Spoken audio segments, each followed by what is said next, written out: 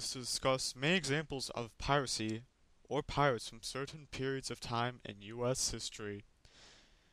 The three specific areas of piracy were on the ocean, river and Great Lakes, and modern day piracy.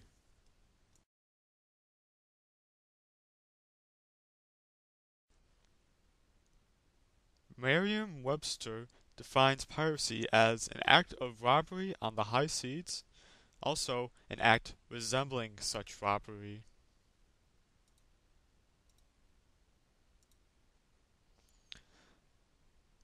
A pirate is one who commits or practices piracy.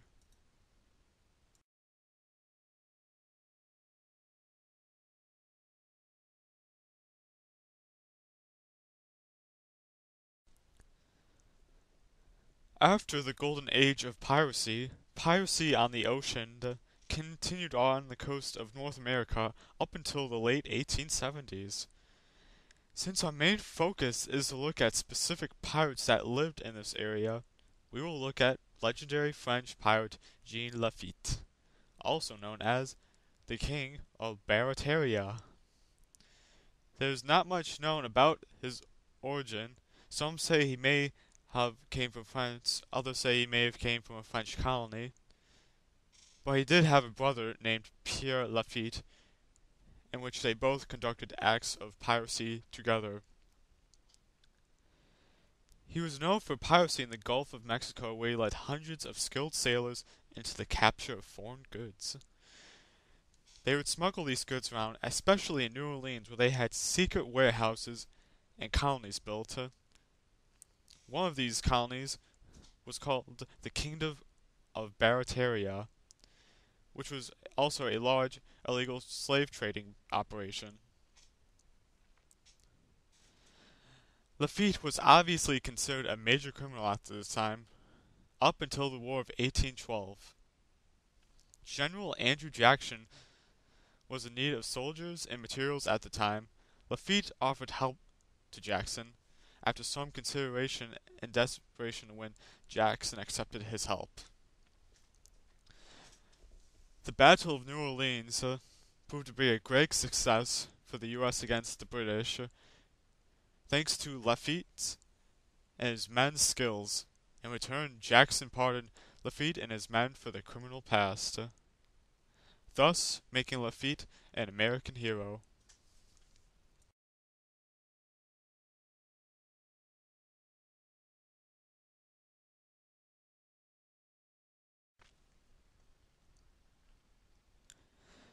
After the American Revolution, a form of piracy on major rivers like the Mississippi and southern Mississippi started to appear. This was known as river piracy.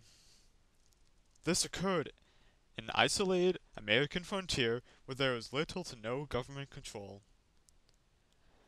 Bands of river pirates would raid ships for loot and supplies, and usually murder the people on board and then tried to sell the ship that they captured. Some bands of river pirates also took up the practice of drilling holes in them so that they would sink, uh, making the ships easier to capture and raid. These pirates took advantage of the landscape by hiding in natural obstacles such as swamps, marshes, islands, and caves a great example of where these river pirates would meet or hide is at Cave in Rock, found in southern Illinois, which acts as a mating, major meeting place for pirates and other criminals at the time. River piracy occurred up until the mid 1830s.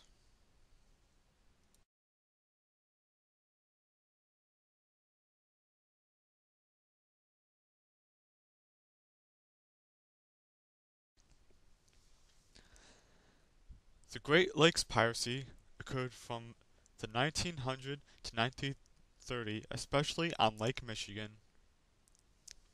These pirates were mainly concerned in the seizing of lumber, prohibition liquor, and even religious reasons. Roaring Dan Seavey was a classical example of piracy in the Great Lakes. Born in Portland, Maine in 1867, he grew up to be a very experienced sailor. When he failed at becoming rich during the Klondike Gold Rush, he took up the op occupation of piracy on the Great Lakes. Seavey had a legal shipping operation. However, he made many midnight heists at warehouses and supported the prostitution trade. He was infamously known for moon cussing, in which he moved around the guide lights so that ships would accidentally sail into rocks. From there, his men and he would seize goods from the wooden vessels. Seavey was caught in Chicago and charged with acts of piracy in 1908 but the charges were later dropped. He later went to work on in the United States Marshal Service and died on February 14, 1949.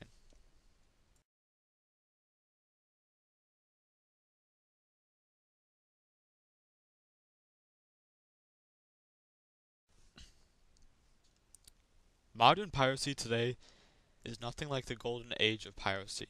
The U.S. currently focuses its attention on combating piracy in the Indian and Pacific Ocean. Specific countries that are hotspots in this area are Somalia, Indonesia, and Bangladesh. A somewhat recent event with modern piracy and U.S. involvement is the Maersk Alabama hijacking. This event occurred from April 8 to 12 in 2009 when a small group of armed Somali pirates seized the cargo ship of Maersk, Alabama. This ship was about 280 miles southeast off the Somali coast. Although the crew had received anti-pirate training beforehand, the pirates still managed to get onto the ship and hold part of the crew hostage. Part of the ship's crew that wasn't taken hostage managed to capture the pirates' leader. In an attempt to get Captain Phillips back, the leader of Maersk, Alabama. The crew planned a trade-off between them and the pirates. However, the pirates didn't obey the request and still had Captain Phillips hostage. He was then taken into the ship's lifeboat with the pirates and drove it away from the main cargo ship. The USS Bainbridge and the USS Halyburton destroyer were dispatched in response to the situation. The end result was the use of U.S. Navy SEAL snipers to kill three of the pirates on board of the lifeboat. The fourth pirate was taken into custody after negotiating a ransom, and Captain Phillips was successfully rescued from, by the U.S. Navy from the pirates. This event was the United States' first successful pirate seizure of a ship since the 19th century.